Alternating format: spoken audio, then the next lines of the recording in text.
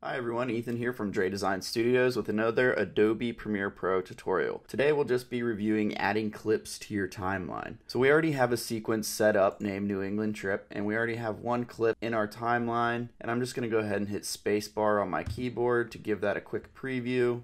Alright, and we can click and drag on that playhead to reset it on the timeline if we need to. And let's go ahead and focus on adding another clip to this sequence. So I'm just going to go into my footage folder here and I'm going to double click Jordan Pond and that's going to load that clip into what is called the source monitor. Now we can preview this clip as well by hitting spacebar on the keyboard. We can also just hit play at the bottom of the source monitor. So if we wanted to add this entire clip to our timeline, there's a few ways we can do it. We could always just click and drag that clip straight from the source monitor down to our timeline. I'm going to go ahead and hit Command Z to undo that. We also have another option called Insert, which is keyboard shortcut comma key, or you can just hit it here at the bottom of your source monitor as well. And as you can see, what that does is it inserts the entire clip in front of our Mount Greylock clip. The other way to add a clip to the timeline is to overwrite it. This is keyboard shortcut period. So if you hit this,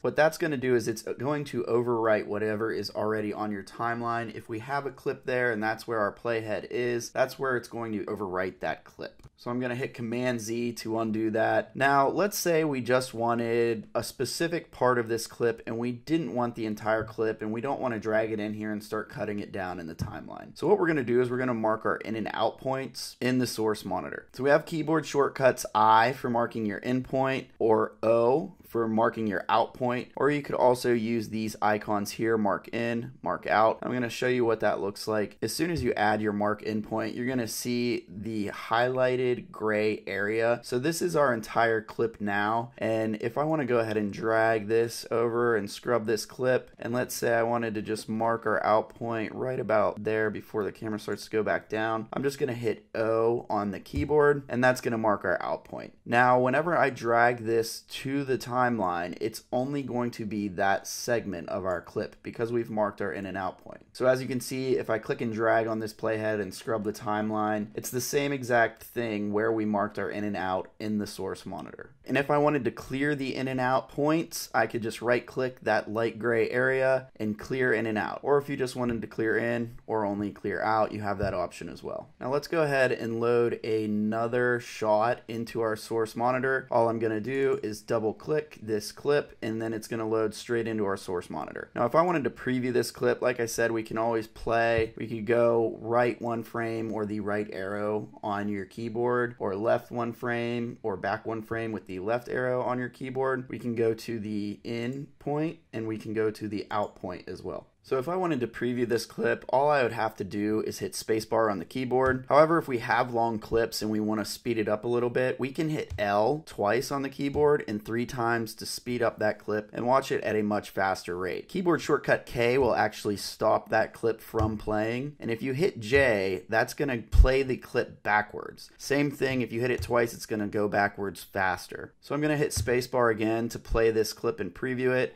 And I'm going to mark my in point by hitting I on the keyboard, and then I'll mark my out point by hitting O on the keyboard. Now, once again, we can always just click and drag this clip down to our timeline to add it, or we can hit insert. Now, my playhead is where I want it here, and it's not going to overwrite anything. It's not going to move any clips. So we can always click on the insert icon at the bottom of the source monitor, or we can just hit the comma key on the keyboard, and that's going to insert our clip wherever our playhead is. So if I wanted to travel to the beginning of the sequence, I can click and drag the playhead or I can hit the up arrow on the keyboard and that's going to jump from edit to edit. All right, and I want to render this out so it plays in real time. Currently, we only have one clip that's completely rendered, which is why we have this green line at the top of our timeline. These yellow clips indicate that they are not rendered out, so they may not play in real time. To render footage out, I'm just going to go to Sequence, Render In to Out, and once Premiere is done rendering, it's going to play that footage in real time. Now, once again, if we wanted to speed things up, we can hit L again on the keyboard, and that's going to double it, and if we hit it one more time, it's going to triple it. Keep in mind, J is going to play this footage backwards. And if you hit it twice, it's going to play it twice as fast backwards